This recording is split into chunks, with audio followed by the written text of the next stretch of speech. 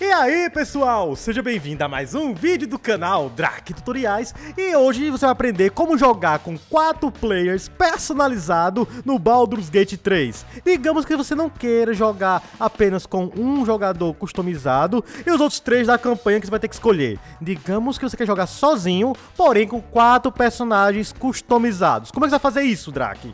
É o seguinte, primeiramente é aconselhado você ter um PC um pouquinho potente porque isso vai exigir um pouquinho de processamento e recursos gráficos, entendeu?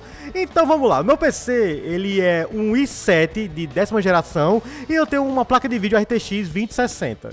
E aí ela consegue dar de conta do que eu vou fazer agora. Para isso você vai abrir o Baldur's Gate 3, aí eu vou aqui ó em opções, e aí em opções pessoal eu vou vir aqui ó em vídeo, e aqui em vídeo, primeiramente eu vou colocar aqui ó onde tem tela inteira, modo exibição, eu vou colocar janela, beleza?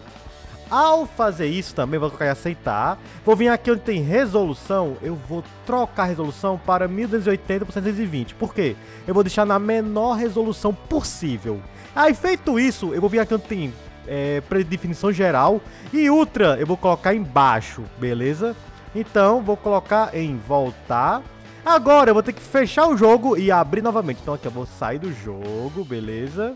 E aí, pessoal, eu vou agora abrir o jogo novamente aqui.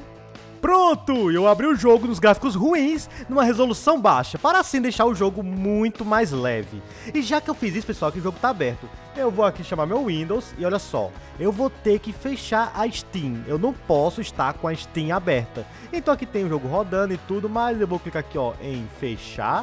Depois eu vou vir aqui nas notificações aqui no meu Windows. E aqui, os arquivos que estão em segundo plano, no caso os programas que estão em segundo plano, vai ter a Steam aberta ainda, por mais que tenha fechado. Então vou colocar com o botão direito, vou colocar sair da Steam. Talvez ele vai fechar o jogo, mas não tem problema. O que, é que você vai fazer agora? Você vai ter que abrir a pasta local onde está instalado o seu Baldur's Gate. Ah, Drake, eu não sei onde é que está o meu Baldur's Gate. Assim, geralmente, ele vai estar tá em algum HD aqui, no meu caso aqui, ó, tenho esse computador. E aí, pessoal, o meu, ele tá no SSD 2. E aqui, ó, eu vou abrir o Steam, Steam Library. E aqui vou ter Steam Apps. Depois eu vou ter Common. E aqui vai ter Baldur's Gate 3, beleza? Lembrando que se você for nas propriedades do seu jogo, você vai ver ele, entendeu? Mas enfim, aqui eu vou abrir o Baldur's Gate 3. Vou abrir BIM. E aqui vai ter, ó, BG3Exe. O que é que eu vou fazer? Eu vou criar um atalho, botão direito, mostrar mais opções. E aqui tem criar atalho. Criei um atalho. E aqui, ó, já tá aqui o atalho. Eu vou clicar duas vezes nele. Pronto! Ele vai abrir o jogo. E aí, enquanto ele abre o jogo, eu vou voltar. Vou clicar duas vezes no atalho. Lembrando assim, pode ser o atalho, pode ser o arquivo original, não importa. O importante é que você vai ter que abrir três, instâncias a mais do que o normal para fazer essa mecânica de quatro jogadores personalizados, entendeu? Então, novamente, vou abrir mais uma vez e vou abrir mais uma quarta vez. E pronto, pessoal. Olha só que legal. Vou minimizar aqui, ó. Se eu for ver, ao todo, vai ter quatro jogos abertos do Baldur's Gate. Normal, tudo beleza. Então, o que, que eu vou fazer? Eu agora vou abrir um deles. Vou clicar aqui para poder continuar. Talvez o seu jogo comece a ficar um pouquinho travado, mas calma que vai dar tudo certo. Eu vou agora aqui, ó, em multijogador. E aí, pessoal, em multijogador, eu vou vir aqui em LAN em LAN, pessoal, eu vou criar uma nova sala. Feito isso, eu vou criar uma nova sala aqui para adicionar novas pessoas, mas não se preocupe, como eu falei, não é para jogar você e outras pessoas, é para jogar você sozinho, porém com personagens customizados, beleza? E aqui tá, Aqui eu vou colocar é, dessa forma aqui, ó. 1, 2, 3, 4, tudo certo. Não vou configurar nada aparentemente. E agora eu vou abrir outra instância do Baldur's Gate aqui, ó. Ele vai estar tá meio travado aqui ainda, mas ele vai abrir, é só ter paciência. E eu sei que já tem outros abertos aqui, ó. Digamos, esse aqui tá aberto, ó. Pronto. Aceitar. Aceitar. Aceitar. Pronto. É como se fosse um jogo totalmente novo, mas aqui eu já tenho jogado ele algumas vezes e é assim mesmo. Então agora eu vou em opções novamente. Agora eu vou em multijogador. Feito isso, aqui em LAN, vai aparecer aqui a sala que eu criei. Olha só que legal. Então eu vou clicar na sala que eu criei, vou clicar em conectar. E aqui eu vou clicar em pronto. E agora, pessoal, vou fazer isso com as outras duas instâncias que sobraram. Então vou abrir aqui, ó. É, cadê? Esse jogo aqui, pronto. Aqui, o outro Baldur's Gate que está aberto. multijogador. Em LAN vou também entrar na sala, conectar. Pronto! Vou clicar em pronta. E agora vou abrir a última instância, que é essa daqui. Clicar em multijogador, LAN e a mesma coisa, entrar na sala. E agora, pessoal, eu vou pegar e vou colocar aqui, ó, em pronta também. E agora que está tudo pronto, eu vou abrir a primeira instância, que é do primeiro jogo aqui, ó.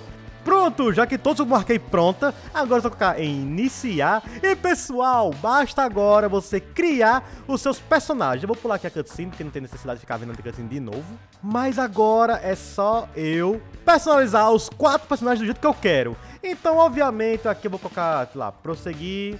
É, o nome tab, vou colocar Drake 1, prosseguir aventurar-se e ele vai guardar outros personagens. Então agora eu vou na minha outra instância, colocar aqui ó, em aceitar. Vou mudar aqui a raça só pra poder ficar legal. Vou colocar o nome Drake 2. Vou para outra instância, mesma coisa. Mudar aqui a raça só porque, de exemplo, colocar prosseguir, prosseguir. Drake 3, prosseguir, aventurar-se. E a última instância, a mesma coisa. Vou mudar aqui a raça também, colocar um Gintiank, prosseguir, Drake 4, prosseguir. E aventurar-se. E vou voltar para a primeira instância, que eu acho que é... Eu acho essa daqui. E pronto! Está aqui, ó. Ao todo, quatro personagens personalizados. Mas pelo Drake, eu queria jogar sozinho agora. Como é que eu faço para poder controlar os quatro? Ah, é muito fácil. Basta agora você vir aqui, ó. E aí você vai fechar as outras instâncias, entendeu? Então eu vou fechar esse. Vou fechar esse. E vou fechar esse. E pronto! Agora eu controlo os quatro. Olha só que legal. Tá aqui, quatro personagens customizados na mesma campanha solo. Então, pessoal, tá aí, eu poderia salvar o jogo e agora me aventurasse no Baldur's Gate com quatro personagens customizados. Então, ah, mas antes de encerrar, uma pergunta, Drake, isso aí funciona na Steam Verde, se é que você me entende? Na verdade, eu não testei, mas provavelmente sim. Como o jogo não está aberto na Steam, ele consegue abrir várias instâncias, então sim, você consegue jogar desta maneira.